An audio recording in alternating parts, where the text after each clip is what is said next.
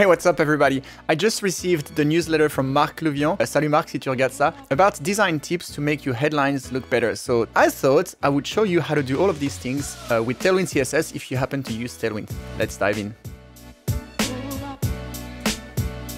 Alright, so I have this starting point where I have created the same headline and then lorem ipsum text, and we'll go through the transformation one by one. Alright, so first, make it big.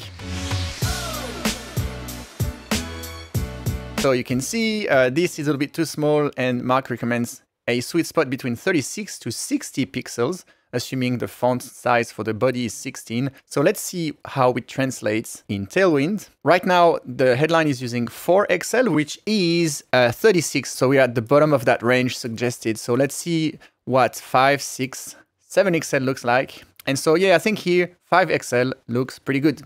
Moving on to the next one, make it bold.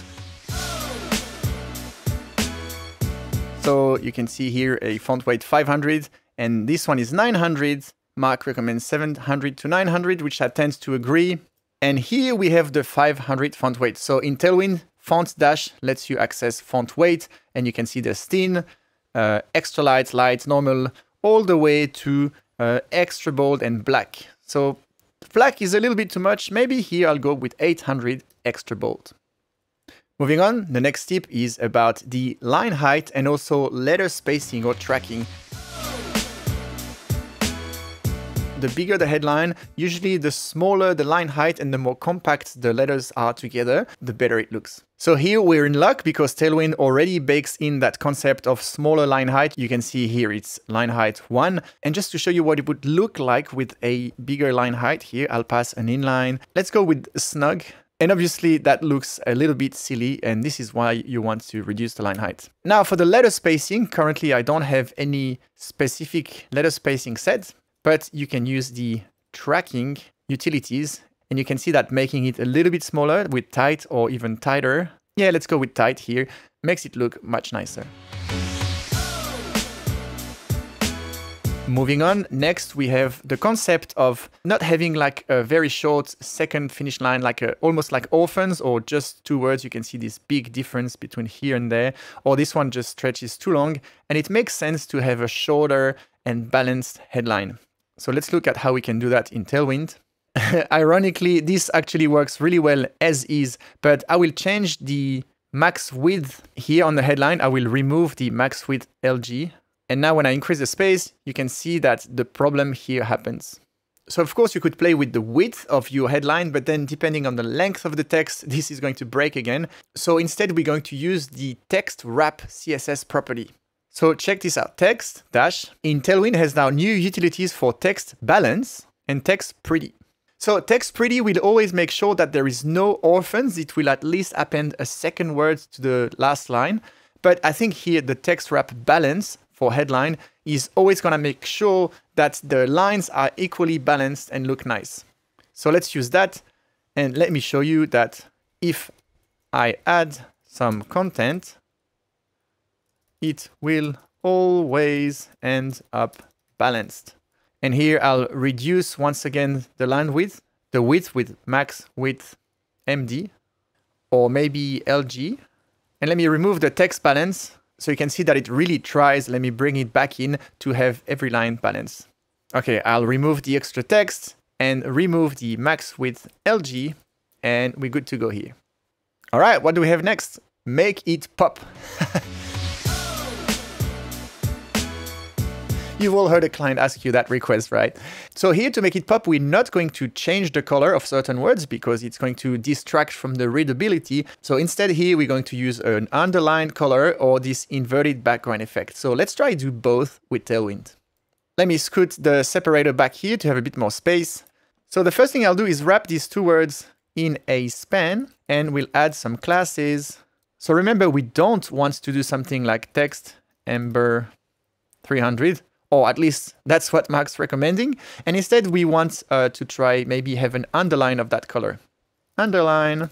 And then what is it called? Decoration, I believe. Yeah, so let's try Amber 500 maybe. And then to achieve the dashed line, I think I can do decoration dashed, dashed, like so. And finally, we can separate it a little bit lower from the text with underline offset. Yes. Uh, and we'll go with four or eight. Let's go with four here. All right, so that would be one option, like you can see here. I do like this font a lot more though. And so let's try to do this fancy inverted background that has a slight rotation as well. So there's a few ways we could go about it. We could have an absolutely positioned pseudo element that is occupying the whole relative parent and then rotated, or we could have nested elements uh, inside another. I think I'll go with the nested elements here. So let's wrap our wording in another span and let me close that and I'll break the line here just to see a little bit clearer. And I don't know if it's a good idea, but we could possibly rotate the parent and then rotate the child inside the other way to kind of make it straight again to create that offset. Let's try that and we might look at something else later. So BG black, and then we'll make the other span here text white. Uh, we'll add a tiny bit of padding left and right on the parent here. So PX1, let's go PX2. Yeah, and so here's what I wanted to try. On the parent, I will go minus, rotate, uh, let's go one. Oh, and I need to set the display to inline block or flex for it to work. Let's go inline block. Stop, stop. And we just have a little intervention because this guy has been barking like crazy. Huh? He's a little guest for a week. So as I was saying, the idea is to now rotate the text itself the other way and see what it looks like. So we have rotate minus one on the parent. So here we're gonna go rotate. And again, I think we need to do inline block. And it sort of work. Does it work? Yeah, I think it looks straight. Let me change to rotate minus two and then rotate plus two.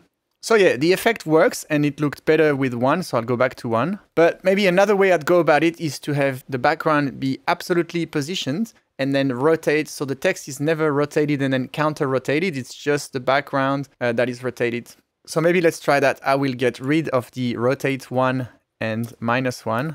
And I can, I think, also move the inline blocks off. So I'll make the parent relative. And then here, let's have another span which could be also a pseudo element. And so here, this one is going to have a position of absolute and then inset zero to use the whole space. I will move the background color to the actual element here. And now to make this thing come back on top, we need to change the stacking context. And I could use position relative, but I can also use the isolation isolate property, which creates the new stacking context without a side effect.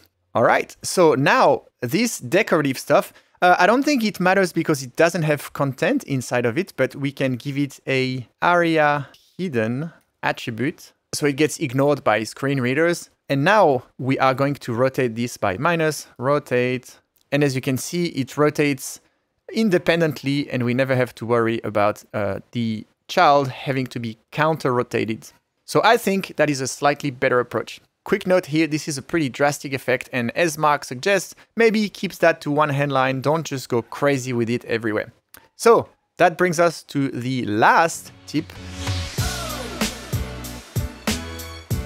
You don't want to keep your font size super big and then it just squishes on multiple lines. So change the font size at different screen sizes. In that case here, uh, let me go back to the normal heading without the fancy effect. So in that case, when it gets small like this, instead of having this uh, brutally real estate space consuming heading, instead of having text 5XL, we can maybe do that from the MD breakpoint and we'll have a base font size of text, yeah, maybe something like 3XL. And so we might have an in-between change as well, but at least now when we grow to the MD breakpoint, that's when it grows. I think here it should be a bit bigger. So maybe between the base and MD, so at the small breakpoint, we can go text 4XL. And now we have this nice incremental heading that grows progressively up to the end. And you can see we still have that problem of the heading being too long. So maybe let's go with a max width MD. So that sort of looks all right. But here it's a little bit too small. So maybe max width LG uh, is gonna work better. Yep. So that looks very nice. And of course, you can go way more crazy in both ways. And there's so many other things you can do with headings, but I thought that was pretty cool to show you how to implement these tips by Marc if you're using Tailwind CSS. Hope you enjoyed this, and I will see you in the next one. Bye for now.